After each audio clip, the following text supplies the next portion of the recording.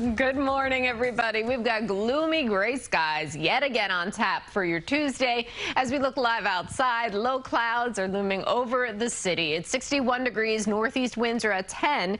Your pollen report looks good in the tree department, but grass, ragweeds, mold, and weeds all at moderate levels today. Temperatures 57 in White Plains, the Hamptons 2. It's 61 in the city, 59 in Sparta. As we look at the satellite and radar picture, what we notice is that this cluster of rain is beginning to fall apart a bit. So weakening as it makes its way off in the east northeasterly direction, but nonetheless still some showers skimming the south shore here. And we see that also Middlesex, Monmouth and Ocean County still getting a good soaking this morning. This will last over the next couple of hours. Low pressure still unfortunately leading the charge around the region. Winds will be predominantly out of the east today, keeping us tucked into the clouds.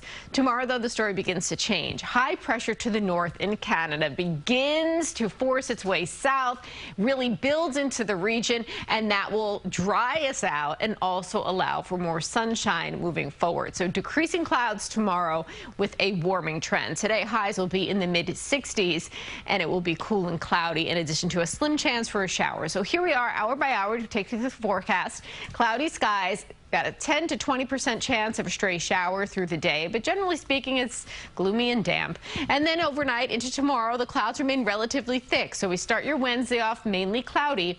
By afternoon, we start to see more sunshine in play and yes, improving conditions. So much brighter tomorrow. Today, we're still stuck in the clouds. 67 degrees, the early wet weather mainly south, just a slim chance through the rest of the day with winds out of the east of 5 to 10. Of course, it's do or die for the Yankees tonight up at Fenway Park. 54 degrees for that first pitch at 8.08 but dry.